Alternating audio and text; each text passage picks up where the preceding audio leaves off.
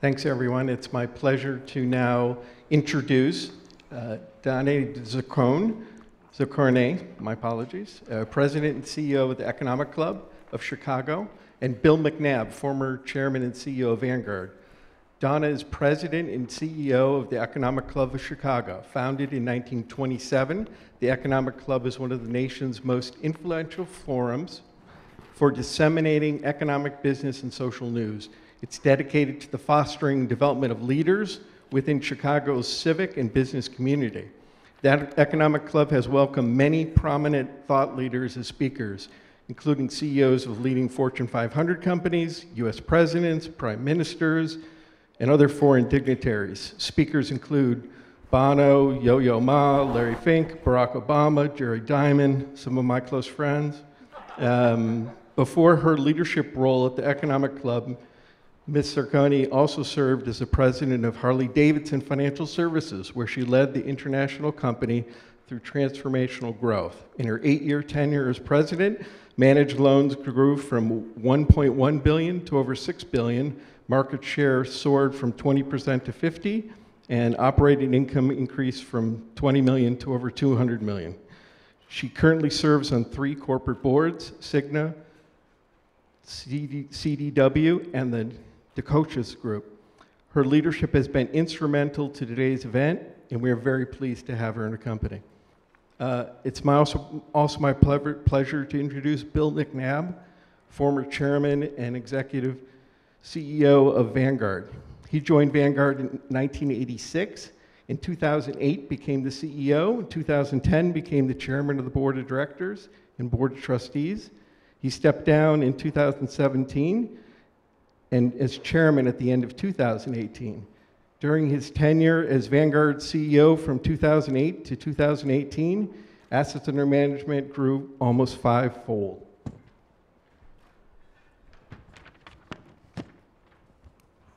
Bill is a board member of United Healthcare Group, the chairman of Ernst & Young's Independent Audit Committee. He's also chairman of the board of Zoological Society of Philadelphia. He's also a key board member of CECP, Chief Executives for Corporate Purposes, and a board member of the Philadelphia School Partnership. We are very fortunate and grateful to have Bill on also as the co-chair of SII's advisory board and serving on our board, where he demonstrates compassion, conviction, integrity, and thoughtfulness. He's playing an indispensable role in help, helping, helping SII scale so it can sail, and is enabling us to move minds so we can move markets to support long-term value creation. What I also learned about Bill, and I'll wrap up here, is that his spirit animal is the rhino. So, which like Bill is endearing, enduring, formidable, and awe-inspiring. With that, please, me, please join me in welcoming Don and Bill. Thank you, Mark. The spirit animal is the rhino, so we should stay out of your way. you know, Tony the rhino is one, is a uh, he's a endangered white rhino who uh, has been part of the Philly Zoo for probably 25 years now, and he and I have just bonded.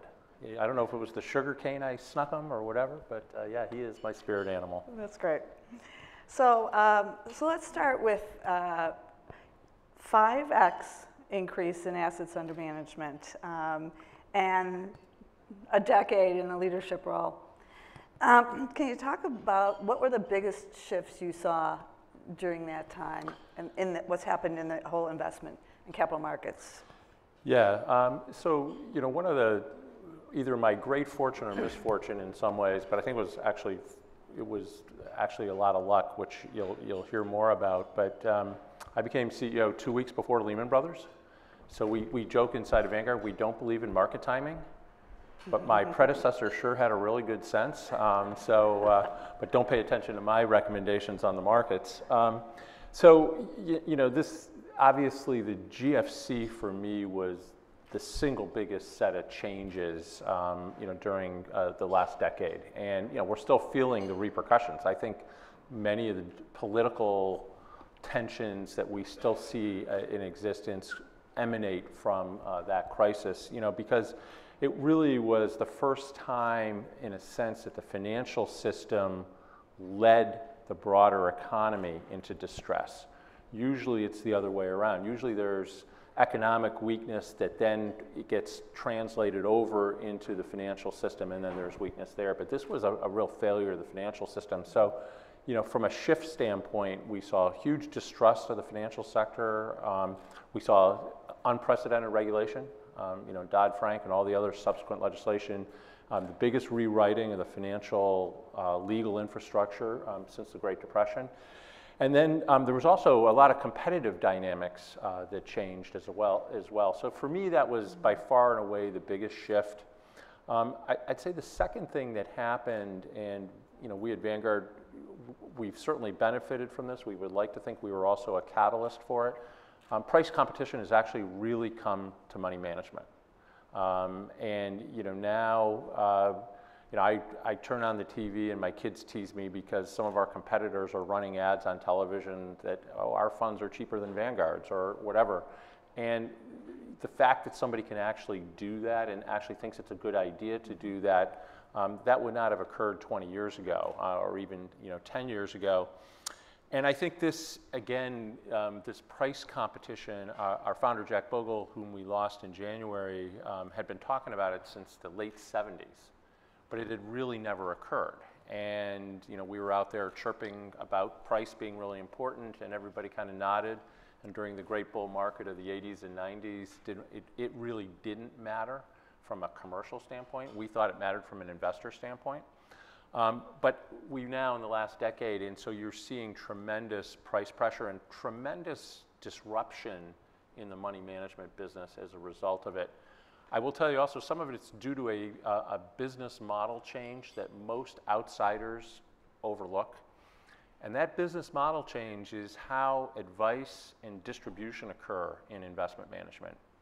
It used to be that 80% of the people went to their local broker and got a recommendation regarding which, what's the best performing fund and you know what are the two or three best performing funds and build a portfolio for me around that idea and the brokers were compensated through commissions. So it was a transactional thing, just like buying individual stocks.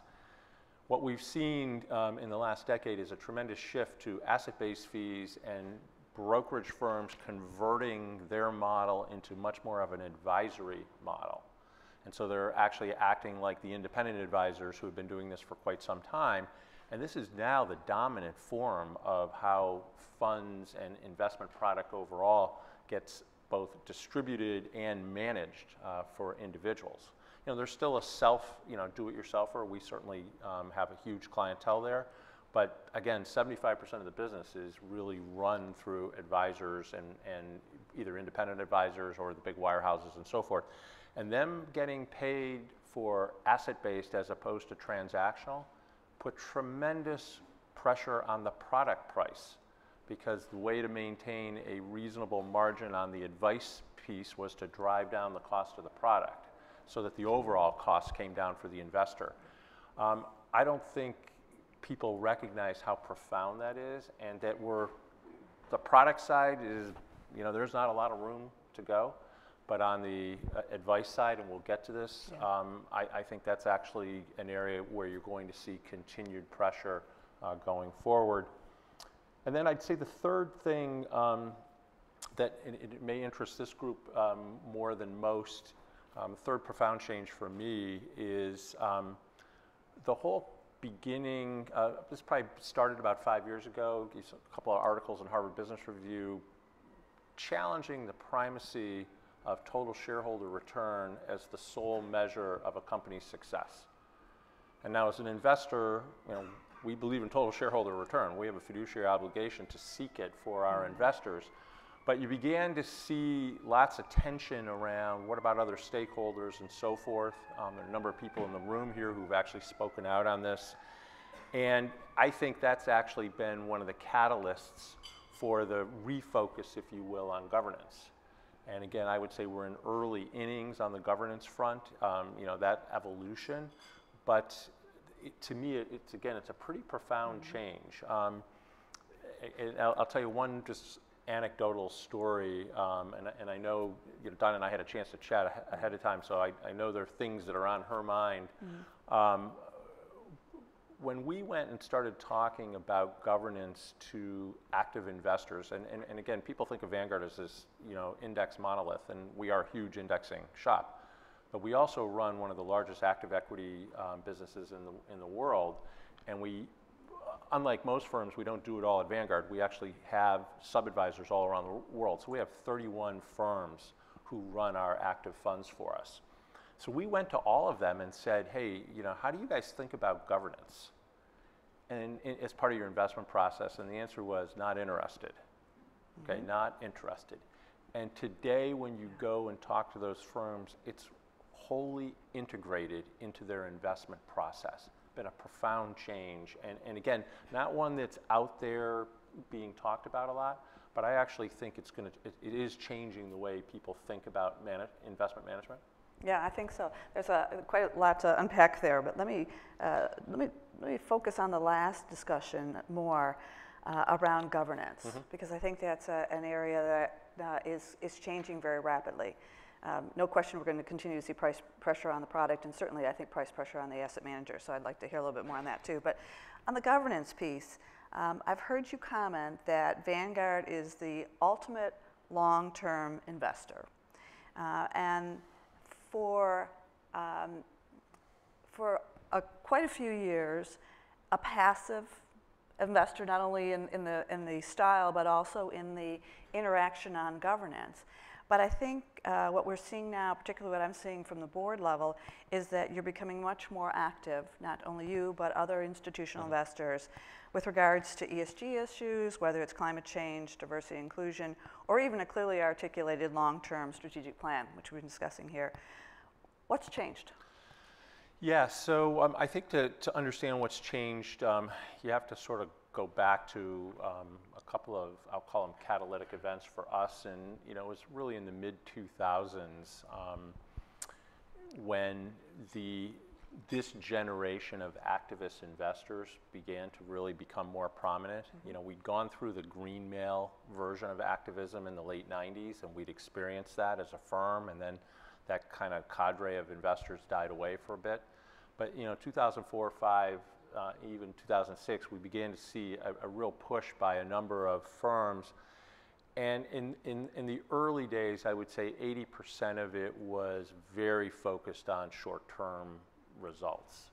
And so, you know, you saw lots of pressure for companies to do things that would clearly boost the stock price in the short run, but perhaps, again, I say perhaps, in the long run, create a situation that wasn't sustainable for the company and maybe wasn't even good for the company's long-term health. I think you lived through some of this yourself, um, probably at Harley, seeing mm-hmm. some of those tensions, right? Mm-hmm. So, um, you know, frankly, as a large shareholder, and we are permanent on the index side. You know, if you look at our index holdings, you can't sell something when you don't like what's going on. So, you you have to match the benchmark. So, you are a permanent shareholder, and we began really questioning whether or not some of these short-term actions were in the long-term best interest of our clientele who tend to also hold the money at Vanguard for a very long time. Our average client tenure is about, in a, in a standard index mutual funds, about 12 years.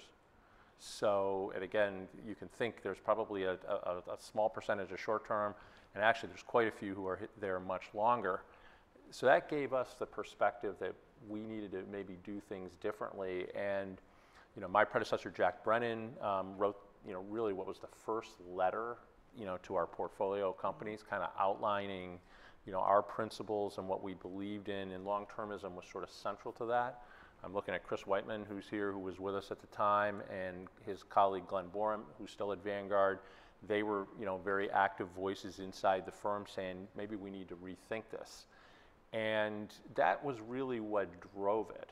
And um, since it's, you know, since we've begun, you know, began the effort, um, what we found was um, the debate was pretty, you know, was pretty rigorous. Mm-hmm. Um, the early days, we focused a lot on engagement and, you know, how do boards, in a sense, govern long-term strategy and long-term plans for their, for their management, you know, for the uh, companies in which they serve.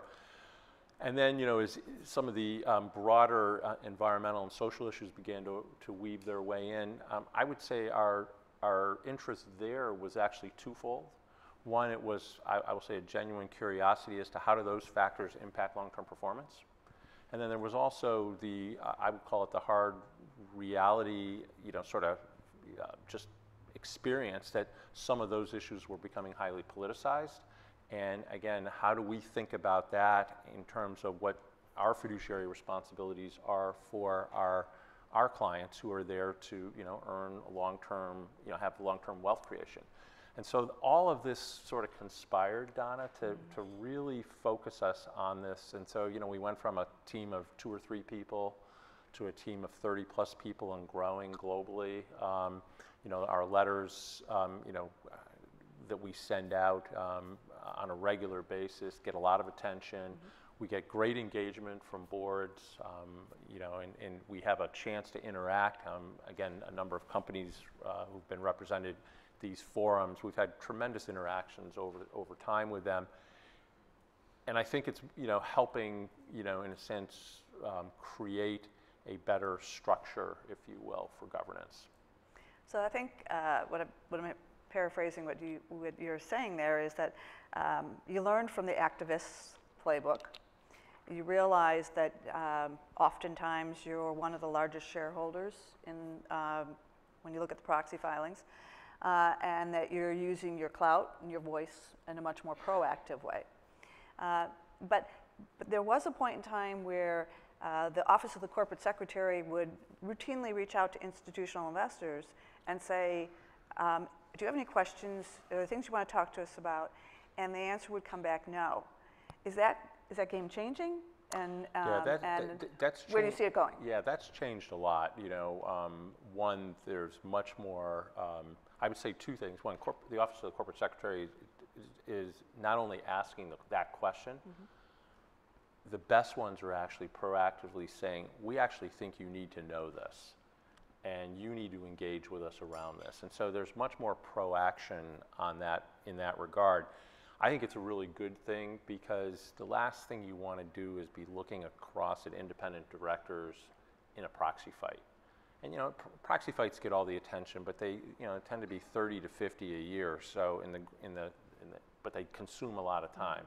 But you want to know the boards um, before that, and you want to know how they think and you know what their processes are and so forth, so that you have at least uh, a working knowledge. And I do think, um, you know, again, one of the reasons we're so interested in in the Strategic Investor Initiative here at CECP is it just fosters you know, in a sense, boardroom thinking around long-term strategy, perhaps engagement. Again, we're not interested as a, a index provider. You know, the fabulous presentation we just saw from, you know, PS, uh, E&G, I, you know, our guys aren't going to tell you whether or not that's the right winning strategy for a utility. But what our people are going to be really interested in is how does the board think about that? How does the board govern that? How, what kind of processes are in place? How does the board get competitive information? How does the board react to uh, regulatory changes and so forth um, in terms of the governance model? So there's a, you know, that's a difference between, say, how we are going to approach it and you know a ValueAct who you know is in that activist school but is a very long-term player they're going to be deep on the strategy Yep. and um, you know almost taking a more of a private equity kind of perspective if you will that they'd rather be you know in helping management so th- there's a difference there And so now you're, uh, you've jumped to the other side and you are the board.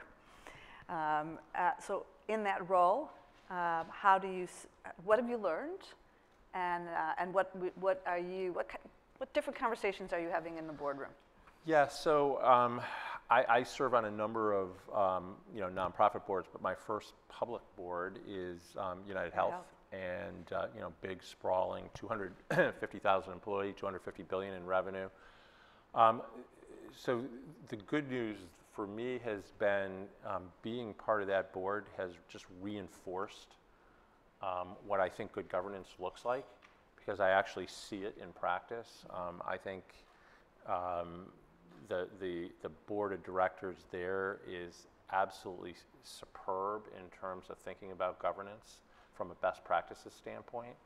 And so that's been a really good thing for me. Like, and, and in a sense, I could go from the investor perspective where we believed all these things would actually make for better run companies, but actually being inside and seeing them in practice, and, the- and, and, and again, in United's case, they've been in practice for quite some time. So it wasn't me coming in saying, oh, I've got all these ideas. Um, and frankly, they were doing unbelievably pro, you know, sort of cutting edge things as a board. And Again, just a practical example um, so people can get a sense of what I'm talking about.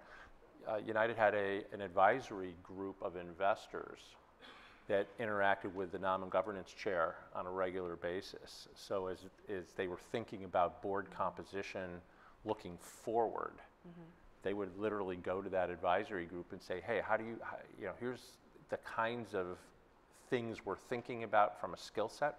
What do you see? What do you hear? What do you think competitors are doing, et cetera, et cetera? And you know, it's it's led, I think, us to some pretty interesting choices in terms of you know refreshing the board and whatnot.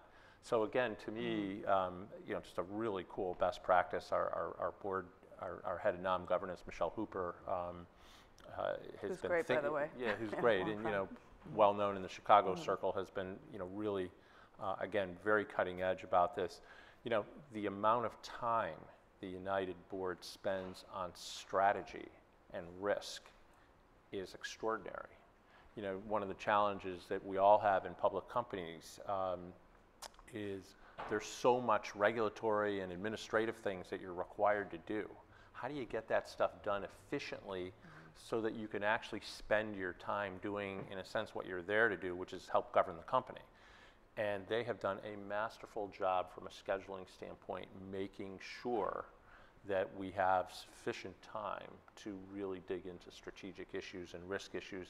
And again, the board's not setting strategy, but the board is responding and providing input as the management team thinks through their long-term plans. And it's, it's again, um, pretty remarkable to watch. Um, I was talking to a couple of folks um, during coffee break who were at our Investors Day in November, and you know it's kind of a legendary Investor Day at this point where our CFO laid out a 10-year plan and was talking about the 10-year plan. You know, imagine being here in 2028 was sort of the opening line, and everybody was sort of blown away that you know this tremendous this company with a great track record by the way of delivering very consistent results in, in the short run was also marrying that up with tremendous long-term vision Yeah. so it's, it, it's, a, it's, a, it's a long-winded way of saying it, a lot of what I believe believed from a governance standpoint, I actually see there and actually see that it works. So I, I feel really good about that. Yeah, let me, let me go in a little bit more to that because um, as a healthcare company that, that United Health is, um, I just want to bridge over to Edelman's 2019 Trust Barometer, which I know Edelman, Richard Edelman's involved. Um, and uh, I was at one of his presentations recently where he talked about uh, the high expectations from employees that their employers will join them uh, on taking action on societal issues. So this really goes to the discussion we were having earlier around stakeholders versus Yep. just shareholders. Um, Milton Friedman, you're in the University of Chicago area here. Um, do you think we'll see a day where the market is going to expect corporations to have uh, an impact responsibility as much as that the financial, the delivery of financial returns? So what, what I would say is, I think again, and, and I have a bias on this, Donna, but I, I think people are actually not looking at this correctly in trying to separate them. I actually think they're inextricably linked. And you know, from my perspective, um, if you want to create long-term value, then other stakeholder groups actually really matter. You know, if you're a lousy employer, eventually that catches up with you. And, you know, your product, your people become less than competitive, then your products and services begin to decline. And you can have the most brilliant leader who can maybe get you through a period there, but eventually that catches up with you, especially as you get bigger. And so I think the two are very inextricably linked. You know, and, and, and again, not to talk Vanguard's book too much, but you know, we're not a publicly um, uh, owned company. We're owned by our investors, if you will. We're a mutual. We had four metrics that we measured. Okay, four metrics that we thought about for 10 years. And two of them were, would be what I would call sort of classic financial metrics that you would expect. So one was our fund performance versus benchmarks and competitors. The other was our expense ratio, you know, what do we charge? Because that's in a sense the inverse of mm-hmm. profitability, but for us, that was how we measured profitability as a mutual. So the lower we could take the expense ratio, in a sense, the more successful we were. So we had aspirations on those two fronts, and we laid them out for 10 years. Interesting, though, the other two numbers that we spent equal amount of time with our board and our, internally our 17,000 people were the Net Promoter Score, which is a mm-hmm. client loyalty measure, mm-hmm. and employee engagement, and, and through a very rigorous process. And so you had sort of what I would call two non-GAAP metrics married with two GAAP metrics. And people would say, wait a minute, that feels kind of touchy-feely. We believe very strongly that if we created a great place to work, that would translate into better service for our, our clients, and we would see that reflected in client loyalty. And we actually did. Um, and we could, we could, I could go, I could spend a whole day on this um, if you're interested. So we went, you know, for us, those were, were really, really powerful. And then you marry that up with, you know, doing a, doing a good job on the investment side, which was our product, if you will, that we manufactured. Um, that to us was the key to success. I actually think for every company, there's the equivalent of those metrics.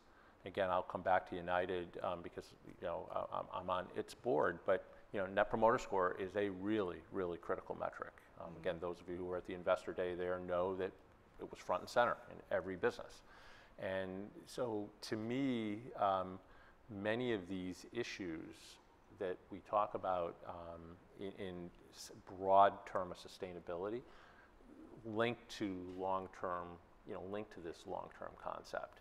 And that's kind of what we're trying to drive. And, you know, the strategic in, uh, investor initiative here, you know, if you look at the seven questions that we laid out, you know, for uh, CEOs to answer, they actually kind of lead you to that, right? They You know, do. the first one is all around what's your core purpose? You know, why do you exist? Which is what's your, mm-hmm.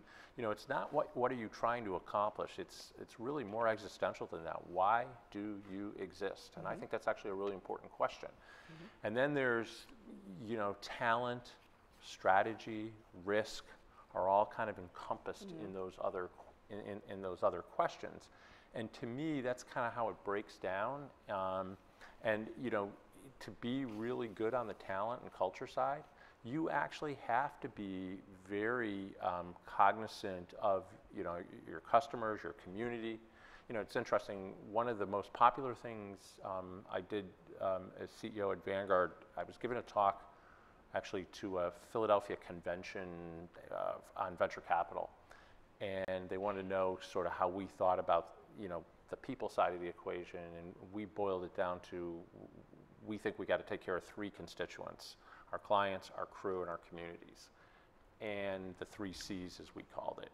And the interaction of those was really powerful. Um, now, I didn't have a fourth, which was outside shareholders. Um, so, um, because our clients were our owners. But for that resonated with our people so much because, again, it explained why we believed in being engaged in our communities. Yeah. You know, it was, it was part of the deal. giving back. So, all right, so I'm um, mindful that we probably have questions in the audience. Do we have, and I know we've got one coming in online. So any questions first in the audience? We're going to go to the one online, which is how can institutional investors be successful engaging, pub, uh, engaging publicly traded companies? And, uh, and what's your take on the shareholder proposal process? Yeah, so um, I think the shareholder proposal process probably needs some refinement. Um, You know, it's, you know, we're walking a, we're walking a balancing act here of trying to make, you don't want to make it so difficult that people can't put proposals forward, um, you know, because that'll stifle, you know, innovation, it'll, it'll also stifle, you know, input. At the same time, you don't want the same proposals that are defeated every year, 95-5, coming back over and over and over again, right? So, you know, it's, um, that, that's where I think there's still some room uh, possibly for improvement. You know, in terms of investors successfully engaging uh, publicly traded companies, um, I think, you know, it's, it's really good to, for investors to come in when they talk to um, boards to really know kind of what, what do they want out of the meeting? Um, you know, what does, as an investor, what do you want to convey? Um, a lot of times it's looked at as a one-way dialogue, and you know, so especially for like an active manager, um, what independent directors really want, they want your views on what's going on in the, in the marketplace competitively. How does our leadership team stack up against its peers? You know, what do you think about our long-term strategy as it has been articulated, if it's been articulated? Um, they actually want that input from outside investors. Um, I agree, and I also, uh, having been on these phone calls, would say, uh, if you're supporting a proposal or opposing a proposal, why or why? Uh, What's the issues behind it, and more of the color in terms of the, of the thought process. Uh, This is very helpful, very instructive. Yeah, and for you know, if um, you know, and you know, for you know those of us who are um, less active, you know, either you know a pure index or a factor-based um, you know kind of investor, there again, I think what boards want to hear is how do you think about the gov- your own governance principles and how are you going to apply them so that there are no surprises. Um, I think that's a very important um, uh, uh, requirement from an engagement standpoint so that you get a dialogue going. Yeah.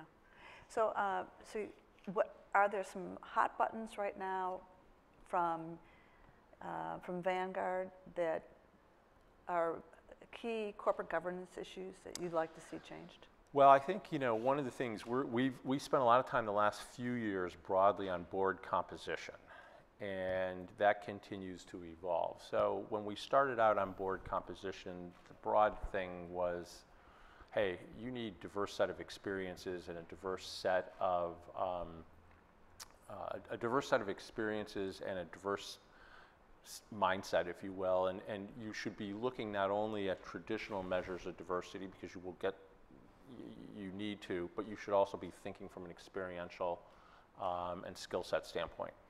And you know, as that those discussions unfolded over a couple of years, um, especially on the gender question, there just wasn't that much progress. Yeah. And so, you know, we we became a signatory to the 30% Club, Yep. um, which was uh, led by uh, the chairman of Bloomberg, Peter Grauberg, um, who really wanted, um, you know, put a stake in the ground that by, you know, X date, 30% of major company boards, and this was the very large end of the market, 30% of those boards needed to be female.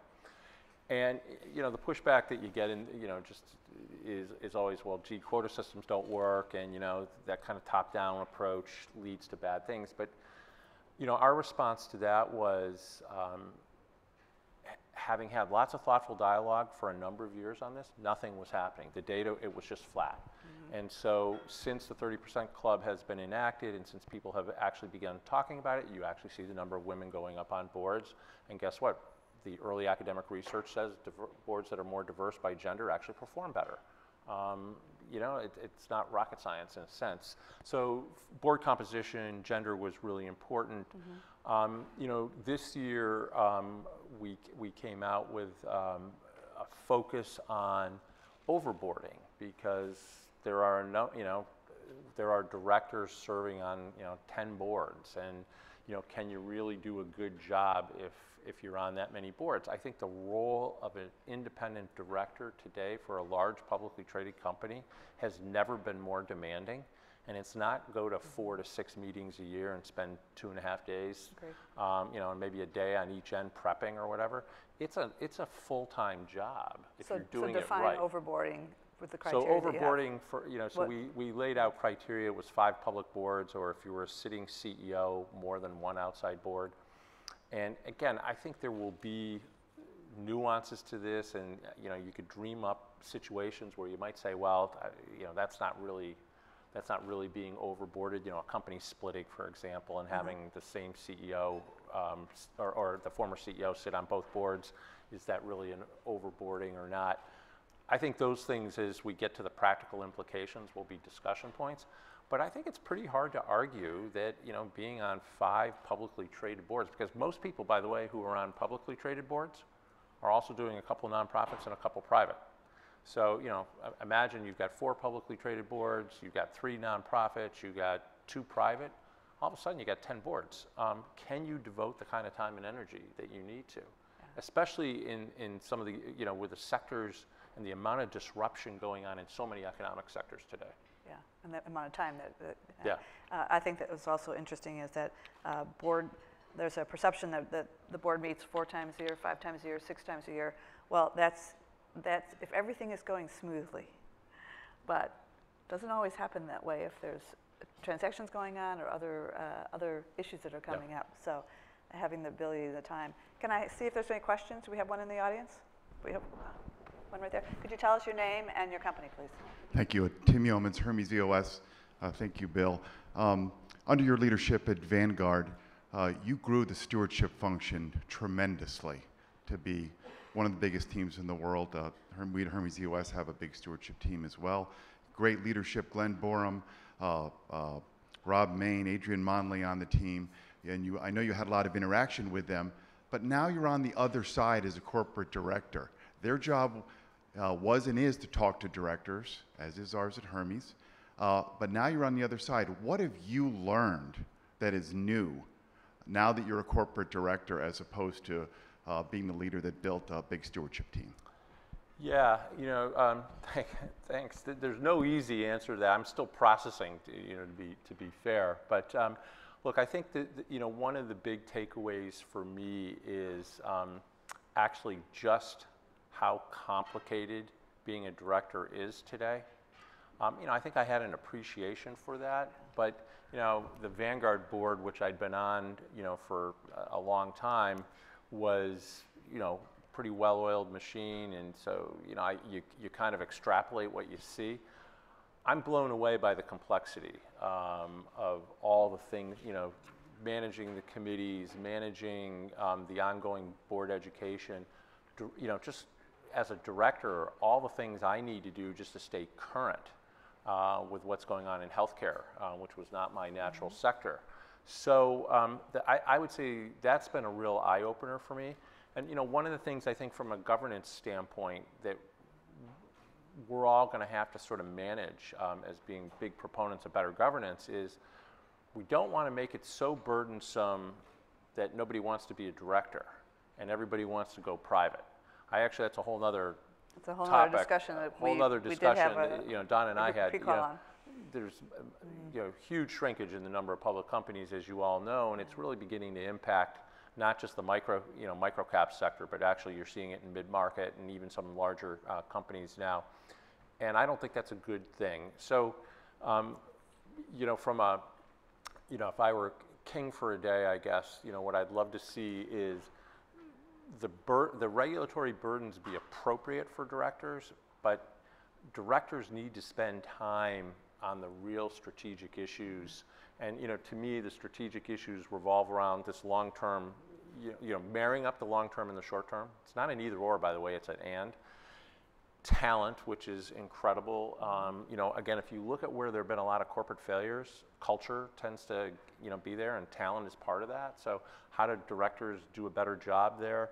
Um, and then, obviously, the, the risks are just compounding, and so you know how you think about that uh, strategically as a board. So, to me, you know, that's been the big aha. Is you know, I thought it was hard before, but it's really hard. And um, I could do nothing but read analyst reports and commentary and stuff out of Washington on healthcare. I could, I, I could literally make it a very, very full day just doing that. And, and, that, and it's important that I do.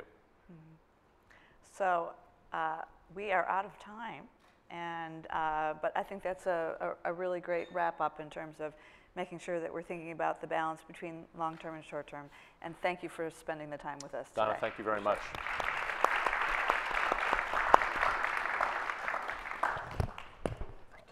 Yeah, thank you.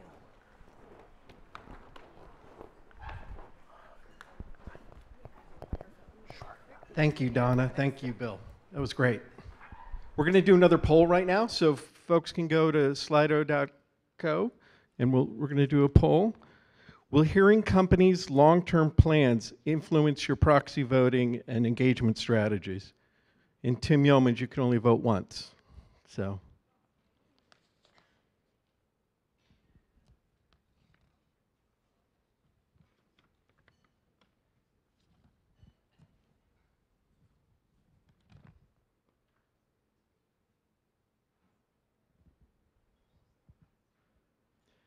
again, it's slido.com, pound CIF 7.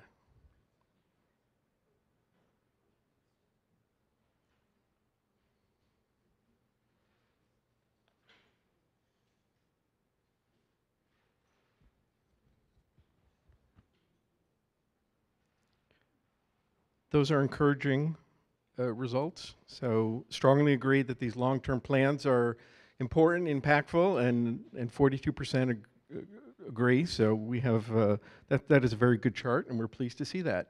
So with that, I, I would like to um, introduce the next two panelists for uh, a fireside chat, Dan Nielsen and Ilene Gordon.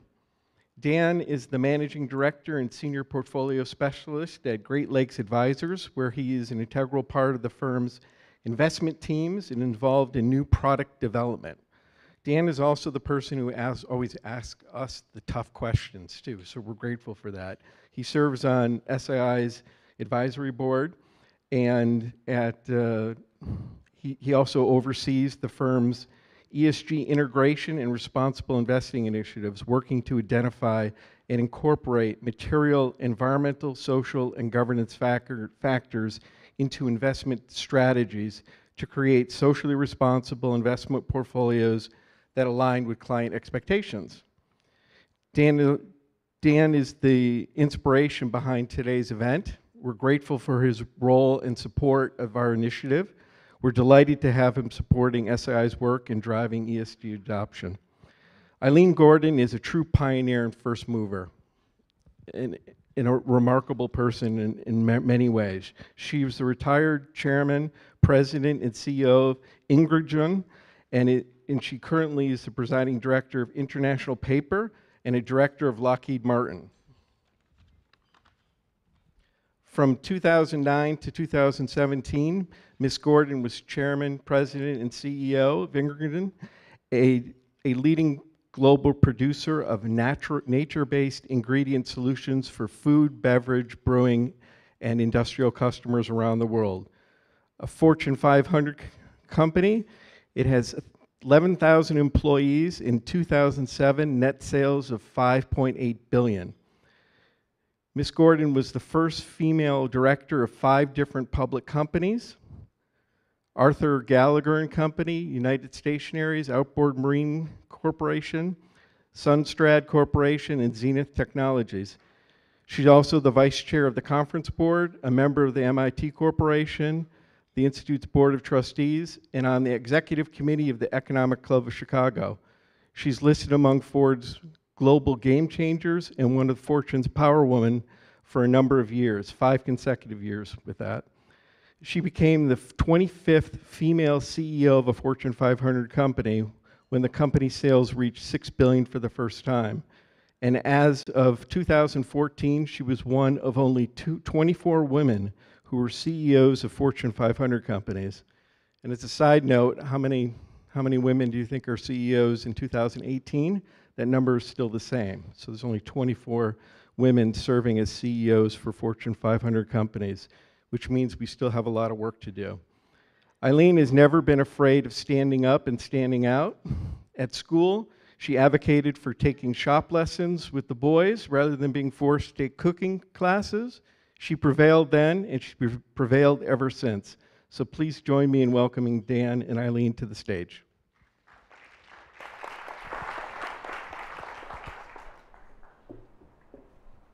Okay. Okay. Great. Um, well, thank you for joining us. Okay, sure. So very excited to have you here. Um, focusing on long-term plans and a CEO's perspective. So um, I'd like to start off by you know, asking you to speak a little bit about how you balanced um, as CEO some of the long-term goals and plans you had with some of the shorter-term issues that came up, and how did you maintain focus on the long-term goal, plan? Sure. Well, very happy to be here. And uh, I've always been a big proponent of focusing on the long term. So, as an example, when I was CEO of Ingredion, we actually put a strategy together uh, and presented it to our board and then presented it to the street. And we said we were going to grow the company in healthy ingredients and we were going to buy companies that were three to four hundred million dollars in sales. And the opportunity to buy National Starch came about, which was four times that. So we stuck to the long-term strategy of uh, building the company through M&A and healthy ingredients, but changed the, the playbook a little bit because it really increased value of the company, uh, and it was a quicker way of doing that. It brought on a lot of people, great skill set, and over the next couple of years, really got the company off and running towards the right trend. So um, let's talk a little bit about communication. So there's this balance between short term and long term, and having a long term plan. How did you find were, what were the most effective means of communicating what the long term plan was and the rationale behind yeah, that? you know, it's interesting because now as a board member, I give advice to a lot of the CEOs that I sit on the board. And I always say to people, look if you it's all about the long-term strategy. And if you have a great quarter do not gloat because this isn't a quarterly business. And if you have a bad quarter don't apologize. So that's my biggest piece of advice that i give them because it's all about making moves that build the value of the company. It might be investment in capital. It may be in r&d it might be in m&a but it's building and building the skill set of the people in the company. You have to have that perspective to have the long term to increase your total shareholder return. And often CEOs get caught up with uh, some of the short term, like, oh, gee, we had a great quarter. And, you know, the analysts don't help it. They congratulate you. And you're like, you, well, thank you, okay. But you, it really isn't a quarterly business. So I think that if the CEO, the leadership remembers that it's all about building long term value, uh, they won't take any credit for the short term. So let's stick with this a little bit. Um, in the introduction that Mark provided, um, he mentioned several boards that you have or are currently serving on. Um, what are some other lessons that you learned as a CEO of a company that you've been able to put in place or help other CEOs with as your role as a director? Well, I think certainly uh, the management of, of messaging, um, whether it's with your employees or your customers, um, or investors is very important. So, as an example, as a CEO, I always felt it was important to go out and meet with investors face to face. I used to call them non deal roadshows. I'd say, Oh, I just did a roadshow. They'd say, Oh, you have a deal going? I'm like, No, it's a non deal roadshow. And it was very important to go out and meet um, every year, not just the CFO, but the CEO. And I would look at the during the year and say, I want to touch the 20 top shareholders of the company and so that's advice that I give to boards that I sit on. And it does take uh, a proactive nature to do that because you have to have schedules. Is it Boston? Is it New York? Is it San Francisco? Is it Denver? Is it LA? Um, even I remember doing a roadshow to Austin um, and Houston, and people said, Thank you for coming. You know, we had breakfast with some shareholders. Nobody's come to see me in 10 years. And I said, Well, I want to understand are we meeting expectations? You know, we're trying to build the strategy. Do you get it? Do you hear it? The other lesson that I learned is, you know, analysts, um, there are some that really dig in and understand the company. And I used to want to spend time with them. And every so often there'd be an analyst who was on the cusp. The questions were not as good during the earnings calls, and people would say, well, he just doesn't get it. And I'd say, no, they're smart people. So as part of the roadshow, the non-deal roadshow, I actually would have analysts come along. And in between, sometimes they were invited into investor meetings, sometimes they're not. Like in Boston, they're not allowed to. Mm-hmm. Other places they are. And I would use the in between time to talk about the strategy of the company to explain it. And it always paid off. So I think that you, as a CEO, you can't communicate enough. your strategy, your vision, how you want to make it happen, um, and to touch a lot of different people. So were there instances when you were meeting, particularly with some of your largest shareholders, where there was pushback on your long-term plan, your long-term vision or strategy? And how did you counter that? Well, you know, it's interesting. Uh, when we were in the midst of looking at M&A, of course, because of Reg FD, you can't say something to somebody that you don't say to everybody else. So I remember a larger investor coming to see me, and they were trying to read the body language. Um, is she going to make that acquisition, or is it going to be somebody else? Um, and I was with my CFO, and of course, we couldn't say anything. We, you know, he, when he said, "Well, are you going to buy this company?" Of course, I would never answer that question, but I would talk about our strategy of building the company. So it was interesting how um, uh, later on, when we made the acquisition and we did a deal roadshow. Um, this was uh, June 21st, 2010, right after we had announced the acquisition. I went to see that investor, and he said, I never thought you'd do it. So he was reading my body language, but then it was all public. We could talk about it and why it made sense. And at that point, we were talking about should we do it through debt or some equity. We ended up doing it all through debt, which was great. Um, and really built a lot of value. Um, but that was one of the subject matters of doing that. So I think that sometimes you get um, investors that push back. Um, like if you're doing a deal and they, they really want you to do it through debt and not equity, they will tell you their vote.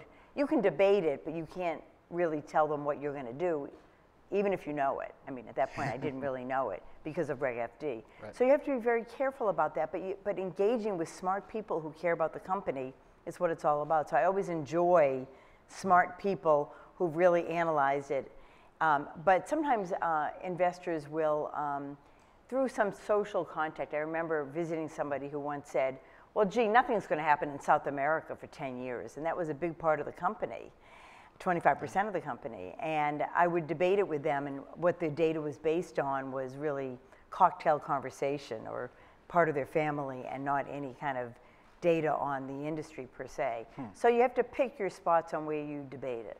So you've described yourself as a, a very analytical decision maker.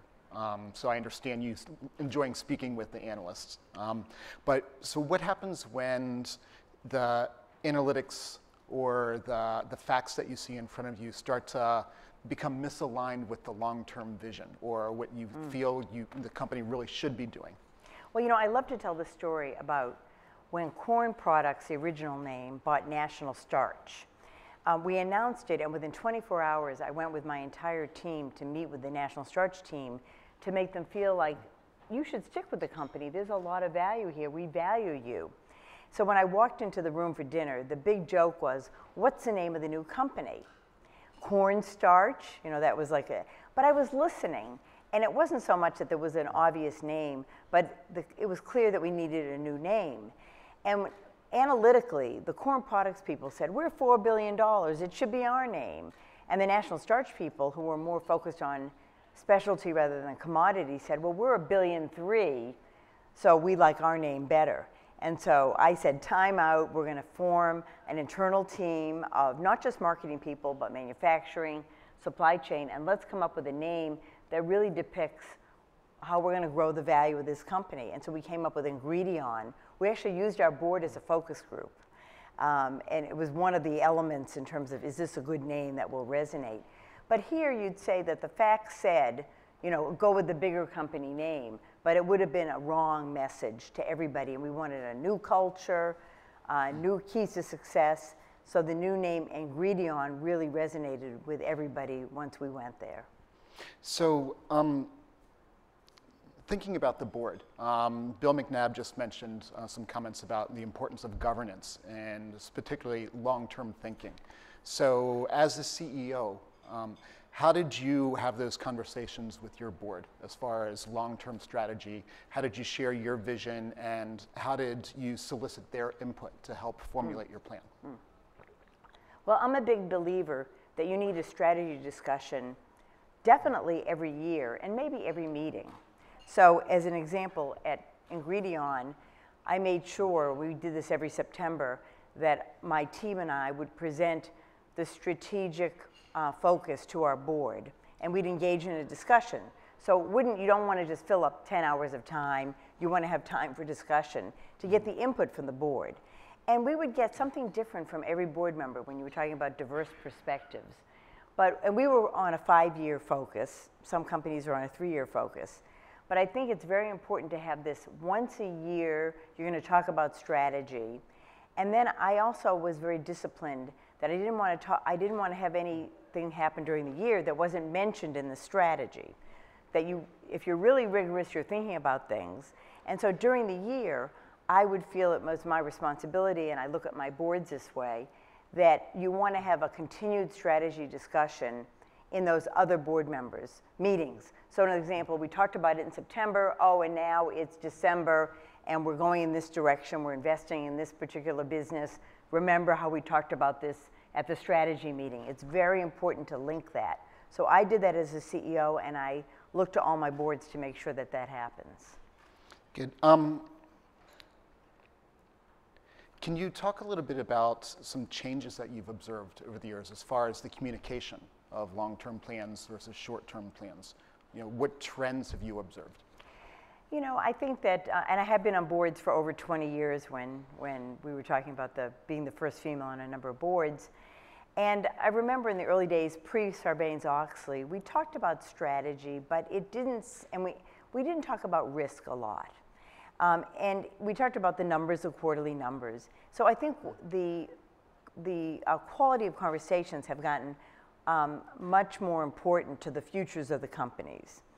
And I think that the strategy is now a rigorous part of really every board that, and some boards, you know, they go off site, we're going to spend a weekend somewhere else, wh whatever uh, method people choose. But I think that's really important whereas I don't think it was as important 20 years ago.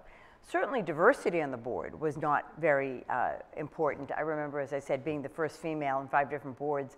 In fact, I love to joke in walking into my first board um, and they said, oh, and your seat is over there. You know, Ralph died last week.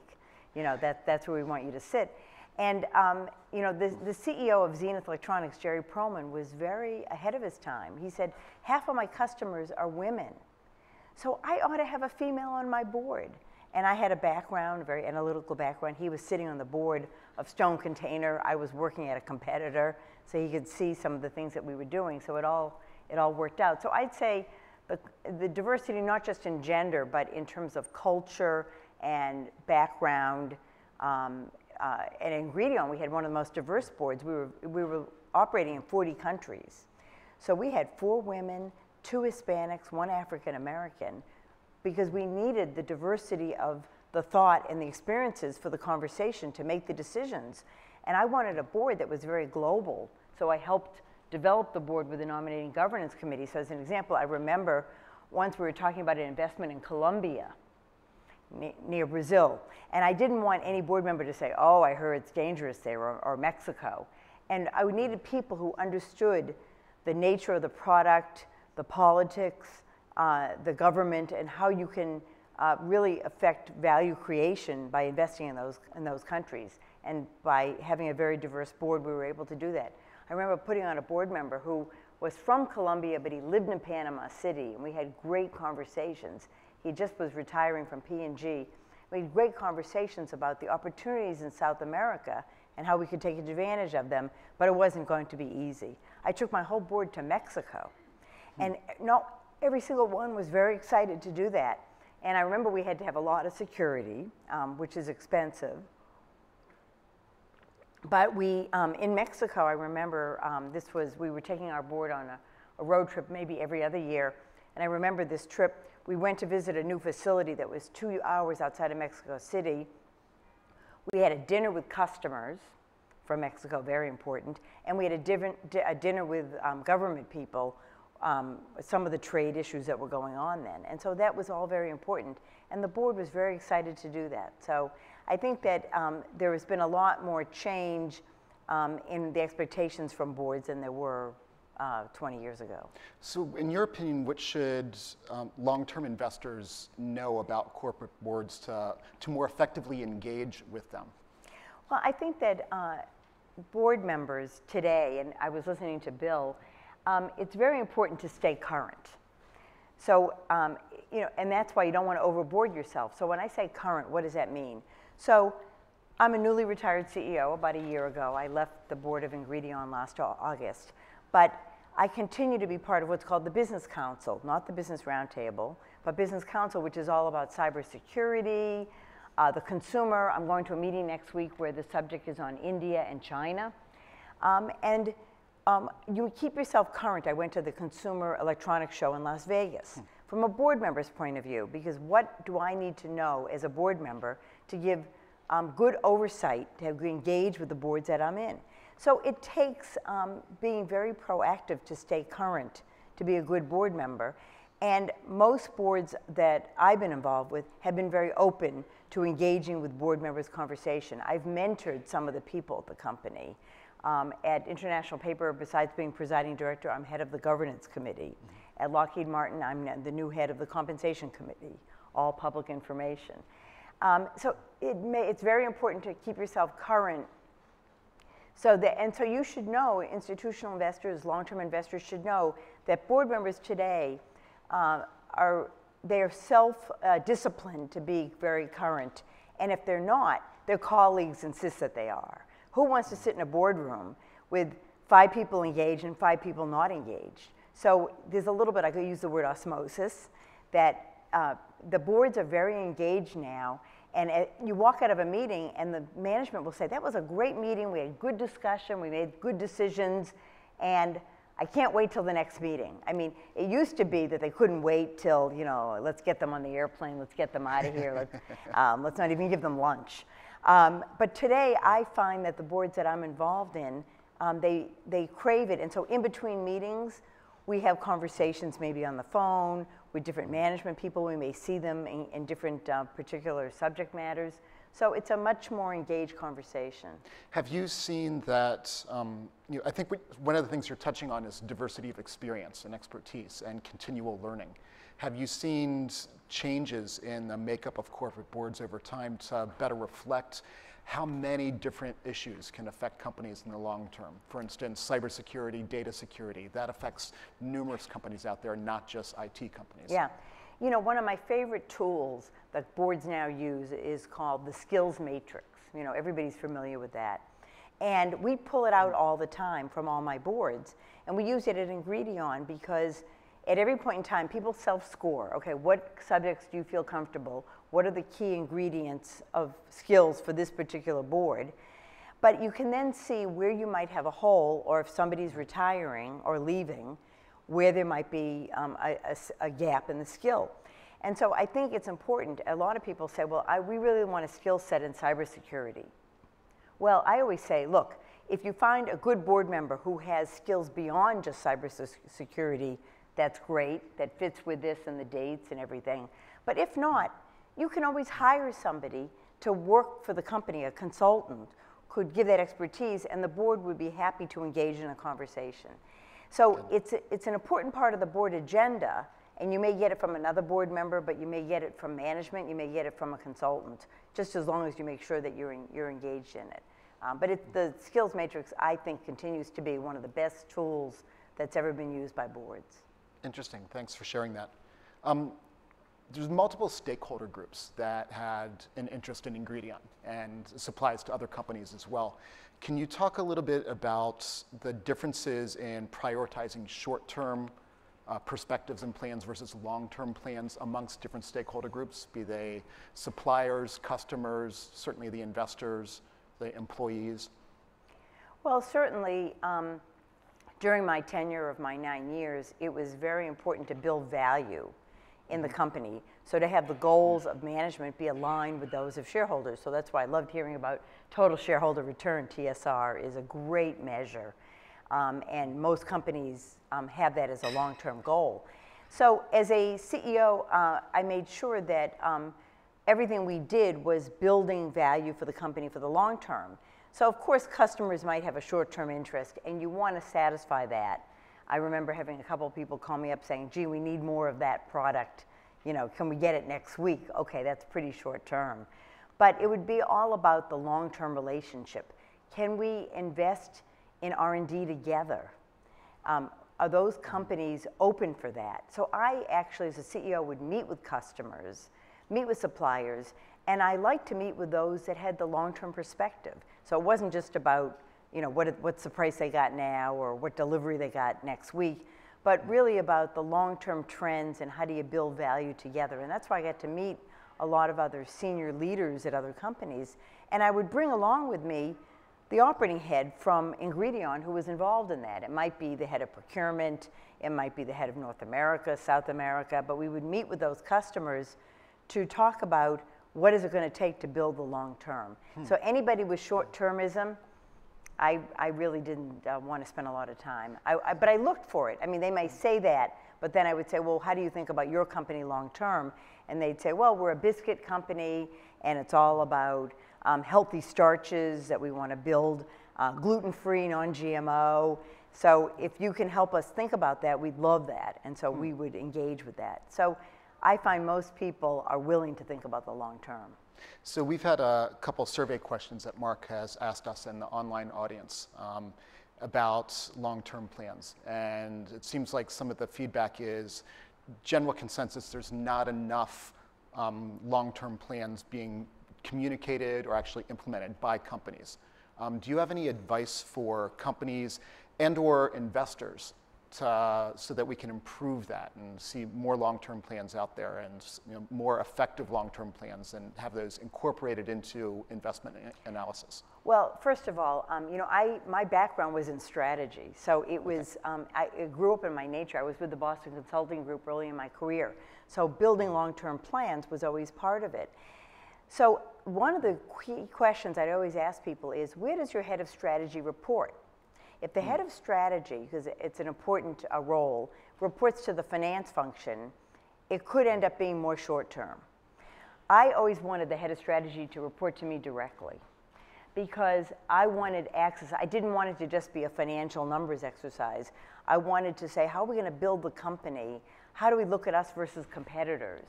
And so that was my way, one way of doing that. So I think that my advice to other companies would be to build a strategy function that isn't just the financial. Now, of course, the head of finance, CFO, he always wants CF, the head of strategy reporting to him. Um, and it can't just be an M&A function too, because it, that's not how you build a company just through M&A. It's a, an important uh, part of that.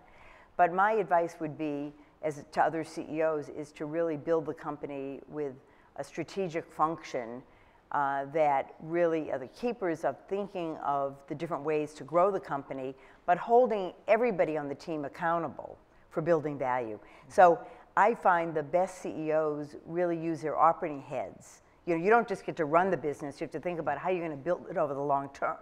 Now, of course, there's a strategy group that can help you think about that and how you buy companies or make investments to build the value, but you're the leader of that business, and maybe it's a region, maybe it's a product line, maybe it's global, but you have to have that, you're, you're being held accountable for that. So that accountability um, is very important for, to build the company. I would imagine uh, the incentive structure is also critically important. Absolutely. I mean, most, um, when you read the proxies, and I pore over them in great detail, to make sure that the goals um, uh, that are assigned to the senior leadership are consistent across the leadership. Now, there might be a specific goal for a particular business unit, but in general, whether it's total shareholder return or EVA, um, there's certain um, metrics that the entire team are being held uh, accountable for. And over, I imagine, a particular time frame to encourage longer-term thinking and not short-termism. Absolutely. I mean, I've never seen a long-term goal less than three years. Um, five years also works in some industries. It depends on which one, but certainly a three-year um, TSR is very important. So I'd like to pivot a little bit for our last question. Um, you know, it was mentioned that you've been um, the first woman to serve on a number of boards, um, CEO of a major company for a number of years. Um, can you comment a little bit about why you feel that it's been so difficult for women to be appointed as directors of companies or as CEOs, and some of the lessons that you've learned through your experience to, you know, where you've been successful in that regard? Sure. I mean, I give a lot of advice to people that people say, you know, well, how can I do this? How can I get on a board? And I say, well, first of all, being analytical is kind of a given in today's world. You have to mm-hmm. understand the analytics. If you don't have it in your background, take a course, meet with people. And so that always helped me um, early on to have that analytical background. But, um, you know, I've actually, uh, one of the things we were talking about is my husband and I have been giving a lot of speeches on dual career couples. And um, what is it going to take to be successful long term? And you know, I've met Sheryl Sandberg, who talks about women leaning in and companies being diverse-minded, and those both those things are important. But there's not enough conversation going on in the couples and what has to happen. Uh, and so my husband and I have been giving back by talking to some MBA students and giving them our learnings after 40 years of being married of uh, you know, our 10 rules of learning, which is a lot about communication and treating people well. So I think what it's going to take is, uh, it's going to take all of that. Um, women being analytical, uh, women focused on their careers. And every time I ask my company, could you be a little flexible here? They said, absolutely. I remember once I was asked to move, um, I was working for Pechiney, a French company, and they asked me to move from Chicago to Paris. It sounded great. But, and you have one day to decide. And I said, well, you know what? I need three days. And they gave it to me. So it was, so companies will, will be flexible, but the couples have to be willing to make sacrifices. And when I tell people that, what that means is you're not going to have time um, for a great career and a great family, which I think is very important. And I've been able to raise two wonderful kids with my husband, and we now have two grandkids. But I think that you have to be willing to give up, I don't know, sleep, social life, dinner parties. There's a few things that you have to give up. But it's doable. It's just it takes a lot of communication by the couple and willingness to do that. So the advice I give to uh, boards about building a diverse slate, first of all, build a diverse slate to start with. Number two, uh, women who have the time and inclination or people of color to go onto boards, I say, you know what? Go to a small, small town. Um, go to an industry where you can add value. This isn't about you just joining. Don't just be a financial wonk. Um, manufacturing companies are in big need. And so go to a company that you can add value, that you maybe worked in an adjacent industry, and volunteer to go to that small town. And you will find wonderful people, great companies that are global in nature, but they happen to be located like International Paper in Memphis, fantastic company. But you have to be willing to, to move it, to do something a little bit out of your comfort zone. And so I think that's my advice is to tell people that you have, you have to be willing to do that. Great. Thank you very much. I'm afraid that's all the time we have. So please join me in thanking Ilene. Okay, thank you. Thank you.